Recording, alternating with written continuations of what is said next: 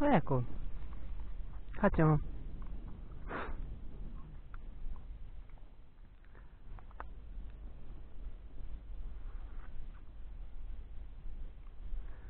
Ecco. Ecco. Ecco.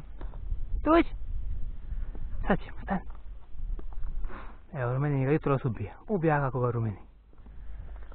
To, ne tako misli. Evo, ovaj odlazak... Uh... na prevoju, a, malog prevoja vratla ovaj, ili za vratlom za noćenje, dočekamo ono godinu u brdsko-planinski kraj, u su planini, evo malo za promjene kao nova godina počne sa nekim a, fenomenalnim planinskim usponom, sutra na Subru. Ovaj. Evo malo zašto ovdje ljudi, ne mogu se ovdje naglas, tako ga rumeni je to nešto, idemo play full speed. Eko, šta njuškaš, dođi? Eko.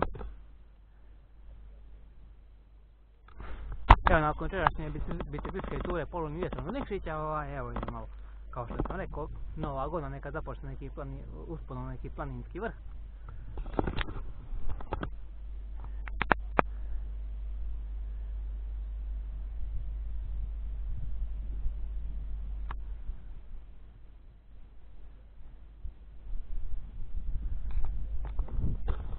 Eko, ajmo idemo, dođi.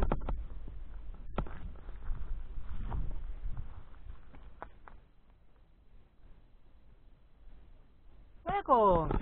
Czekaj, Mićka, czekaj.